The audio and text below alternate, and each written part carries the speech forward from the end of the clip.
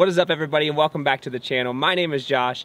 This is Overlanding Now and today I have with me my daughter Remington and my wife Courtney and we wanted to do a real-time 5,000 mile review of our 2021 Geo Pro by Rockwood, by yes. Forest River, I don't know. Um, but we wanted to do it real time because it gives a better explanation of the way we travel when we travel. I don't know if she's happy about it. But we've been on the road for almost a month now and it's been quite the experience. We've had, we've been a lot of places and we've taken this thing with us. Um, so I wanted to go through that. And at the end of the video, we'll sit down and we'll discuss if we could do it all over again, if we'd actually do it.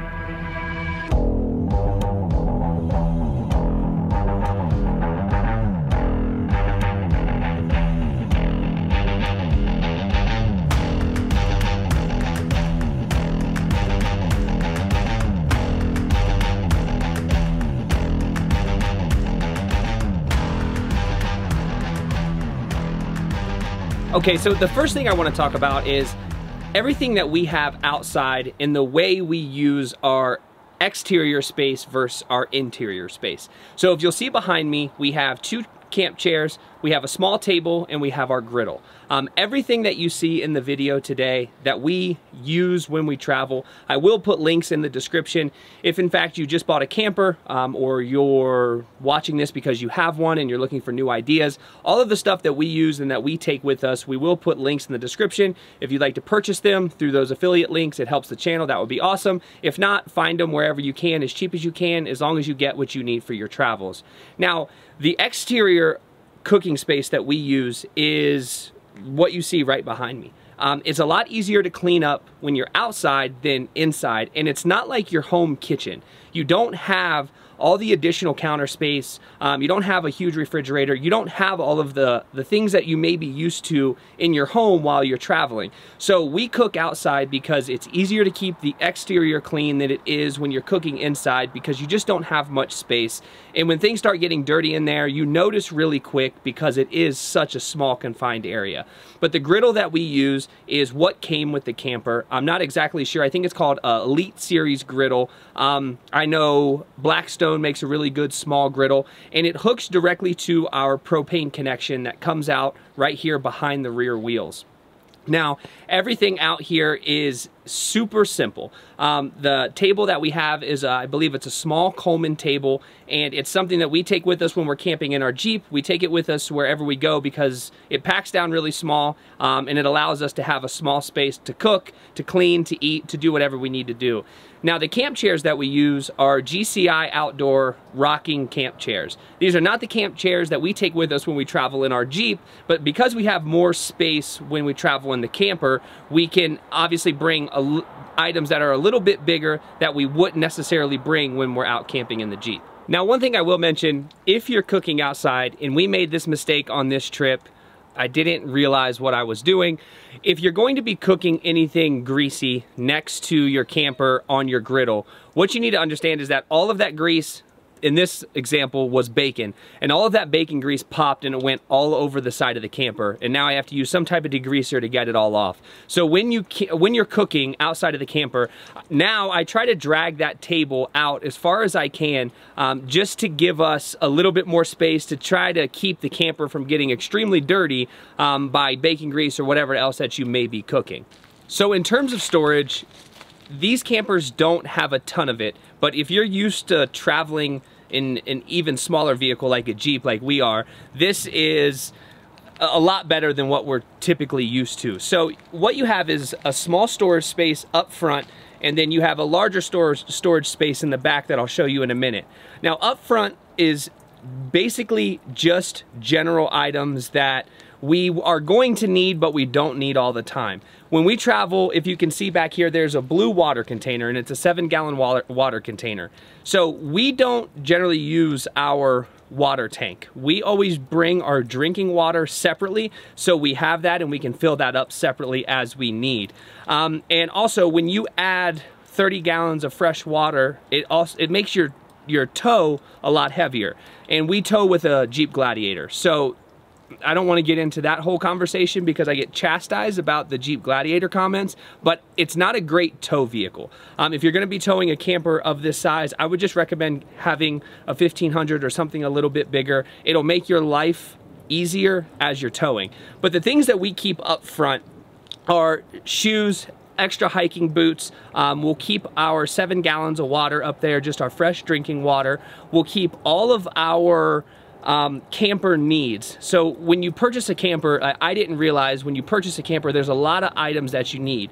Um, you need different plugs for dip different amperage um, electric hookups, you're gonna need a hose, you're gonna need a water filter, you're gonna need uh, wheel chocks, you're gonna need leveling blocks. So there's all of these additional items that come along with purchasing a camper that I was unaware of. So what I have is just a small Sterilite tote. And if you've been on this channel for a while, you know that Sterilite totes are like the best tote that you can purchase. The small industrial grade um, black and red Sterilite totes are perfect for every situation. Um, I've purchased a lot of other ones and these are always the ones that I come back to.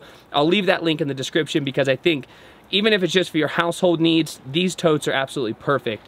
Um, now, also when we travel, we keep the griddle underneath there up front as well. So everything that we we need is there, but it's stuff that we use very rarely. We keep kind of in the middle. The stuff that we have to get to quite often, um, we keep closer to the two side uh, doors, just because it makes it easier for us to be able to reach in and grab the stuff that we're gonna need on a regular basis. Another thing that I don't wanna forget to mention is something simple like this. This is a Libman um, small broom and a small dustpan and it packs down to about this size. And this is super simple and easy to use when you're sweeping out the interior of the camper. What you have to remember is it is a very small space. So uh, what I do is I take this, I get on my hands and knees or my wife gets on her hands and knees and we just broom everything towards the door, put it into the dustpan and we throw it out. Something like this may sound silly and it may not be something that you think about, but this is all that you need. The interior floor space is maybe 50 square feet. So it takes you 30 seconds to broom it with this um, and you can use like a Lysol wipe to disinfect the floor and your floor is clean. So this is something that I would recommend. It doesn't have to be this one, but something this small. It takes up very little space and it allows you to clean your camper within five minutes. So th something that I want to mention, which is not a big deal for us, but some people are very serious about the way they listen to music. Um, just above me, there's a little circular dome that has an exterior speaker, and it's it's a it's a, it's a poor speaker. It's not a great sound system, which for us it doesn't matter. It's totally fine. We only listen to it when we're cooking, when we're hanging out by the fire. We don't need anything um, super loud or bassy.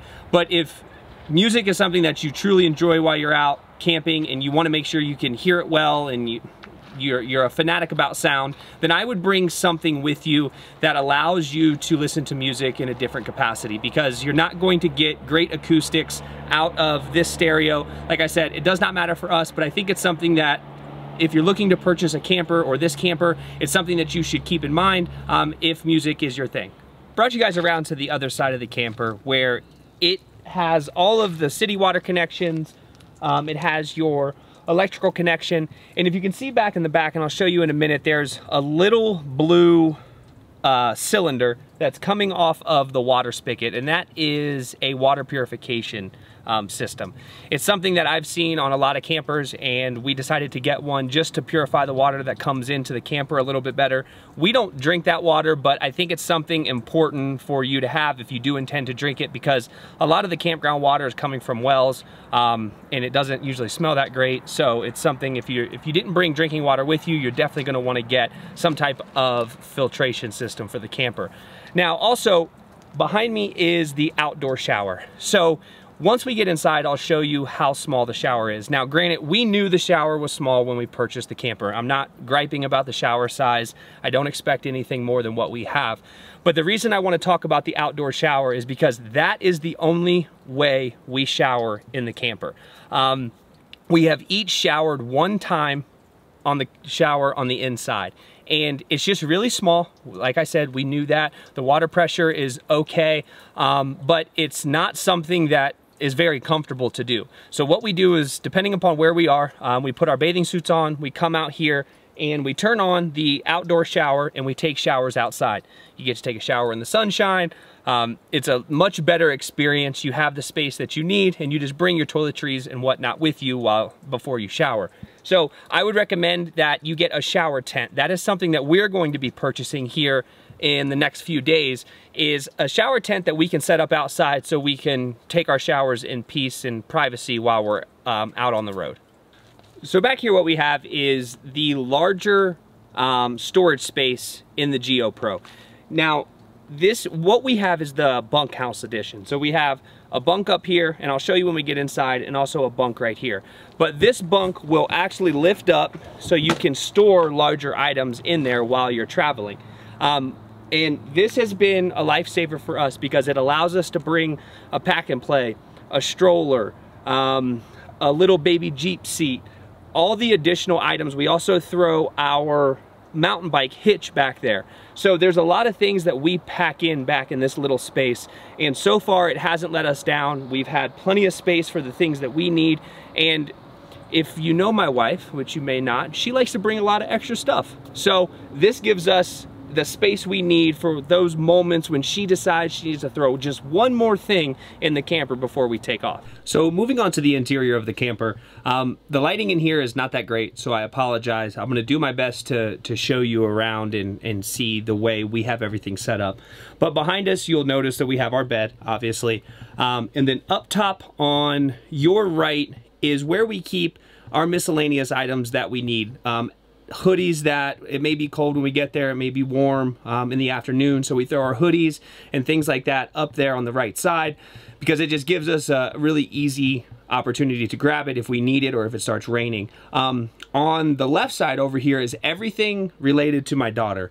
So her sleepers, um, her blankets, uh, anything that she needs that we use on a regular basis, we keep over here on the left side. And that just allows us simple and easy access. We have not been able to come up with a better way to utilize this space. So really what we have is what we have and it works well for us right now. We may change it in the future, but for the 5,000 miles that we've been traveling, this is how we've used this up, um, the up top storage space. So I have everything turned around now because I think this is going to be the easiest way to show you exactly how we have everything set up. So what you see is our sink and our oven and stove. And this is generally how we keep everything on the inside. Um, we use a towel over the stove and then we throw that metal drying rack on top of that towel and we wash all of our dishes and do um, all the dish drying right there. And this is how we have everything set up about 90% of the time because quite honestly, it's a lot easier to just use that space as additional counter space than it is to have um, as a cooktop. Now, if you'll notice, there's a small piece of glass that's right here. Um, and that is a piece that broke right when the first time we ever took the camper on the road. So we leave it flipped up like that. We never even tried to fix it because it didn't really do much good in the first place. So we kind of just left it exactly how it is. So here we have our little table section. Um, now this table section actually flips down into a bed and that's where our daughter sleeps every single night when we're in the camper. We flip the table down, the cushions fold over, and then we have a little thing that we purchased that happens to fit perfectly um, right there on the table. And that allows us to have her sleeping in this section um, without any fear of her rolling off onto the floor. And it slides right into these little grooves perfectly. And it just keeps her from falling down or falling out of there. And it's something that's worked really well for us so far. Over the table area is where we just keep all of our food. Um, that is enough space for us generally to keep all of our food. So we just stack everything in there the best way that we can. And when we need it, we can grab it when we're cooking. So the refrigerator is a much smaller than what you're used to in your house, obviously, but it's still a decent sized mini fridge and it gives us plenty of space. We're used to traveling in our Jeep with a much smaller refrigerator, so any additional space that we can get, we take advantage of. But The refrigerator is perfectly fine for what we need. Um, if you need additional fridge space, you could always bring a cooler, but we generally don't have anything that we cannot fit inside this fridge and freezer combo. So as far as that's concerned, it's been really, really good for us and it's worked out quite well. So a couple of things that we have are we have command strips and hooks hung in several places throughout the camper. Right here is where we put our trash bag. We hang a bag on either one of those command strips. We put our trash in it. As it fills up, we take it out and take it to the dumpster. Um, that's the only thing that we've been able to come up with so far that makes sense in terms of some type of trash can or trash receptacle. And right here is where we hang our keys um, for the Jeep. So that's another little command strip that we put up. And then back here in the back, we put an additional two command strips up for towels. Um, and a little trick if you need to keep this door open, we hang a towel on it. My wife figured this out and we stuff it down underneath this top bunk and it'll keep your door open because when you have that fan on, it's gonna suck that door shut most of the time. So that's a good way to keep your door open if you're having issues with it. Up top, we have our uh, top bunk where our son generally sleeps when he's not here. We just throw additional blankets and pillows up there and whatever we need to store while we're traveling. And then underneath we have more storage that we use for any type of devices that need charged, our computer, clothes bags, whatever it is that we have that just kind of needs to be out of the way, that's where we store that when we're moving. All right, so we're back in the bathroom and this is the only place that has decent lighting. Um, so I wanted to show you the bathroom itself has the shower head, a small sink, and down here is where you have your on and off um, valves. Now, like I said previously, we do all of our showering in the outdoor shower. What we do with this in here is more storage. This is our dirty clothes bag. We throw our dirty clothes bag in the bathtub and that's what we use it for. Other than going pee in the camper, we do everything else outside of the camper. If we're at a campground, we use toilets for number twos and all that stuff. So um, the, the shower is extremely small. It's nothing more than what I would expect in a small camper, but it's not something that I'm comfortable taking a shower in. And more importantly, it fills your gray tank up. What you have to remember is you only have 30 gallons of black, 30 gallons of fresh, and 30 ga gallons of gray. And all of this is gray. So if you're taking a shower, you're washing dishes, and you're doing all this stuff, and you're somewhere where there are no, there is not a dump station, your gray tank's gonna fill up relatively quick. So anything that you can do, washing dishes, or anything outside of the camper will make your life easier because it'll keep your gray tank from filling up. So above the oven and the range hood, you have a couple additional um, storage options. We really just keep some dishes up here. We keep our coffee cups, um, some paper towels, aluminum foil, things like that. Things that we need on a regular basis while we're cooking or while we're doing anything in the kitchen, we keep up there. And outside of that, other than the drawers, underneath the bed and underneath the two bench seats, you really don't have a ton of additional storage options while you're in the camper. All we do in our drawers is put clothes. We have one junk drawer. Everyone has a junk drawer in their house. We have one in the camper, and it's one of the drawers underneath one of the bench seats. The other drawer underneath the bench seat is what we use for all of our daughter's um, formula, all of her bottles, diapers, wipes, anything that we need to get to quickly, we keep right there. And it's also beside the bed. So when we're sleeping, if she wakes up and she needs a diaper change or she needs to eat, we can reach down into that drawer. We can pick up the things that we need to pick up um, and get her back to sleep pretty quickly. Okay, so as promised, we wanted to sit down and talk about if we were to do this again, would we purchase this camper or another camper of similar size and shape again. And a couple of things that I want to mention before we even answer that question. What you have to remember is these campers get put together extremely quick. Especially in 2021, there's not enough of anything. And these manufacturers really do fly through these builds. And what that means for consumers like you and I is that sometimes we're not getting the best quality piece of equipment. And that's that's just the way that it is. Things in campers break constantly. We have had several things break. You need to be able to fix minor issues or live with the fact that the camper's not going to be as perfect as it was the day you bought it. We already had an issue from driving it from the dealership to our house. And that's just something you have to expect. So that's what I wanted to preface this with because it's something that you need to understand is that things are going to break in your camper no matter what. They take a beating. They're not built with the most structural integrity. You only get a year warranty generally, and that's uh, for a pretty obvious reason. So the things that you want to take care of are your roof and make sure your wheels and your tires and your axles and all of that stuff is in good shape before you take out on a trip. With all that being said, would you buy it again? Yeah. Why? Because it allows us to go on trips and get her out of the elements. Outside of that, if let's just say we're talking to somebody who does not have children and they're looking to possibly purchase a camper, maybe it's to go full time or it's to go part time, whatever it is, would you recommend something like this for those people? No, I would definitely go with something smaller. Like how small? Like a teardrop. Like a teardrop? Yeah. So we originally bought this because we have a little baby and we wanted to be able to travel. We've been on the road for a month. She's been with us the entire time. We've camped several nights in the tent as well, but this is a safe place for her. If it was not for her, there's no way I would purchase a camper of this size. I would do a teardrop. Yeah.